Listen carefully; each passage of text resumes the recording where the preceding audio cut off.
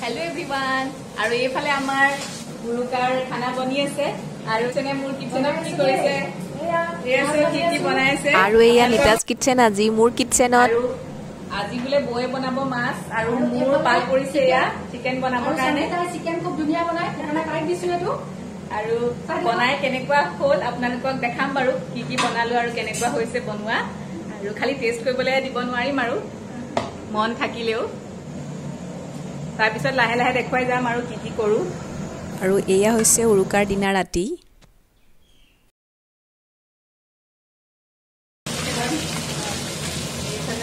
বনাই আছো চিকেন। আৰু এইফালে তেজপাত দি দিছোঁ। তাৰপিছতে পিঁয়াজ যিখিনি তেল দি থৈছোঁ। চব তেল দিছোঁ।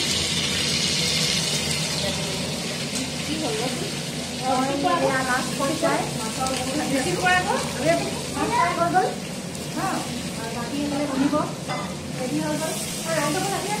আহিলে আহিলে। চব নাই আহা হয় নি কৈছো বাৰু কৈছো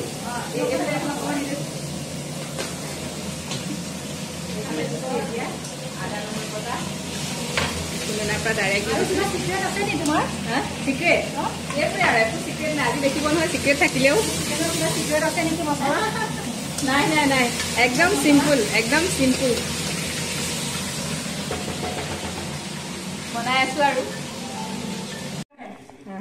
এইফালে উতলি আছে মাছৰ আঞ্জা আৰু মাছ ফ্ৰাই। আৰু এইফালে বনি আছে মাংস ৰেডি হৈ গ'ল।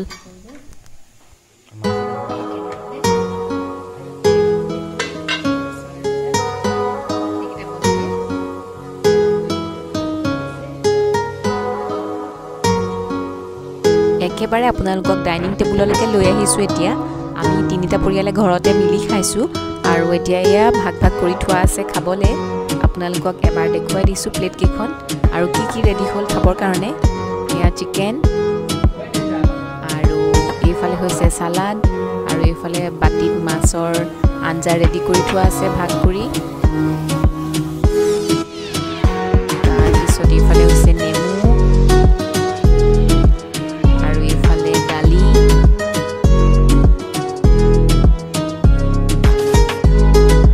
এইফালে আলু আৰু পাপৰ ফ্ৰাই।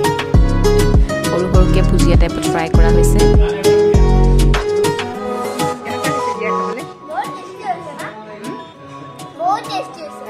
মজা?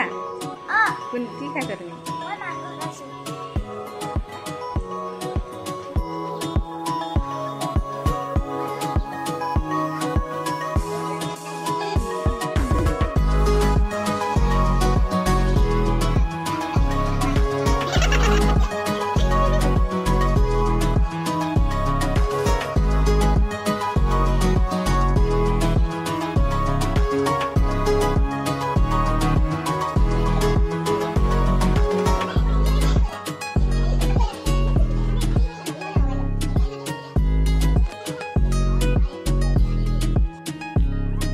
পিছদিনা ৰাতিপুৱা ধুনু আৰু জীয়াই গা পা ধুই উঠি এনেদৰে ৰেডি হৈছে মই একপি ফটো তুলি দিছোঁ তাহাঁতক।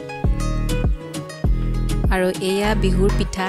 আৰু যদিও এইবাৰ আমাৰ মেজি জ্বলোৱা নহয় তথাপি ঘৰৰ ছাইডতে জুই একুৰা এনেদৰে লগোৱা হৈছে আৰু তাৰ চাৰিওফালে আমি বহি এনেদৰে চাহ খাইছোঁ। সকলোৱে মিলি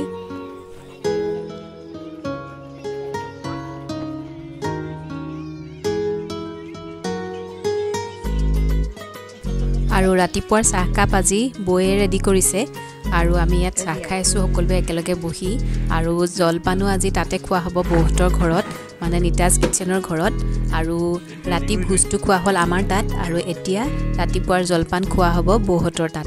আৰু আপোনালোকক দেখুৱাই যাম বাৰু আৰু ইয়াত ডাঙৰগৰাকী বৌ আহিছে।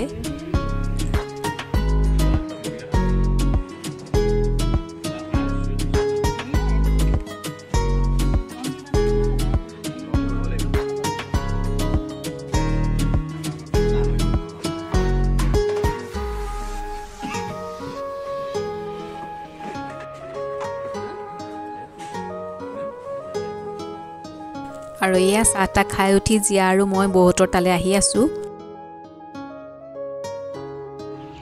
আৰু এতিয়া জুই পোৱাৰ পিছত এতিয়া বৌহঁতৰ ঘৰত জলপান খাবলৈ যাওঁ আহি আছোঁ। বৌহঁতৰ ঘৰত আহি সোমালোহি। আৰু এয়া প্ৰথমে আপোনালোকক দেখুৱাই লৈছোঁ বৌয়ে ঘৰটো কেনেদৰে ৰাখিছে।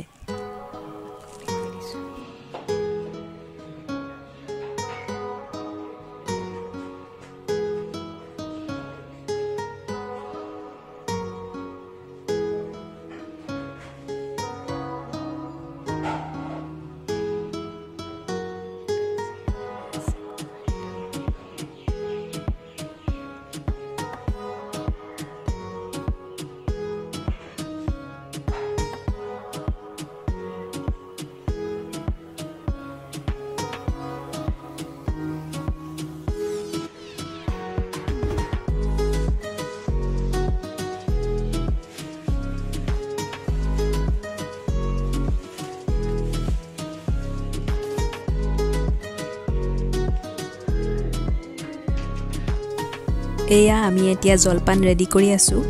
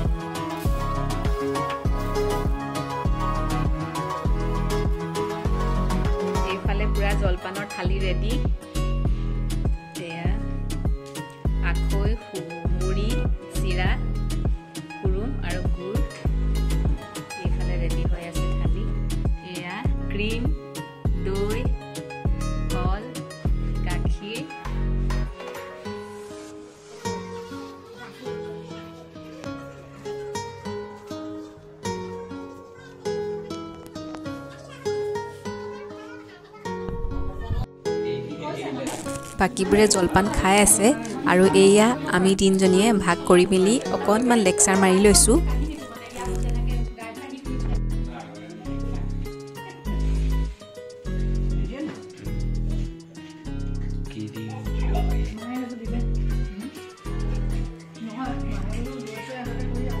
মা মুখখন কেনেকুৱা ডবলা লাগিছে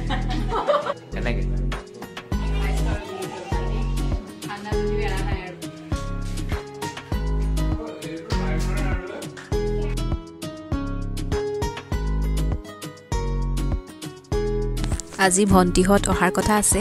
অকণমান ঠিক ঠাক কৰি দিছোঁ ডাইনিং টেবুলখন।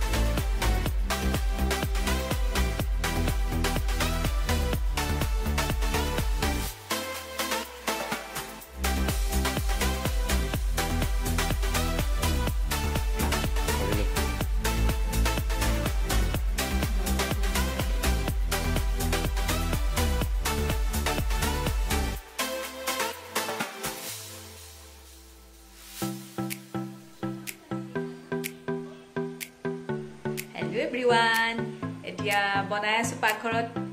ভণ্টিহঁত অহা কথা আছে আৰু সেইকাৰণে কি কি বনালোঁ কি কি কৰিছোঁ আপোনালোকক দেখুৱাই যাম। বিৰিয়ানী বনাই আছোঁ আৰু এইফালে বনাই আছোঁ বিৰিয়ানী।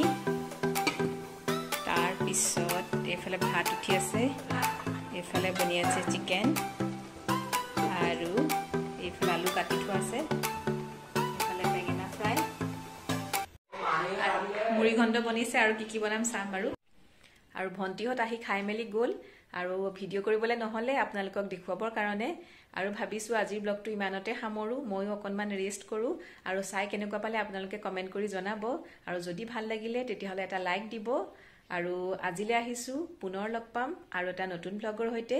Bye bye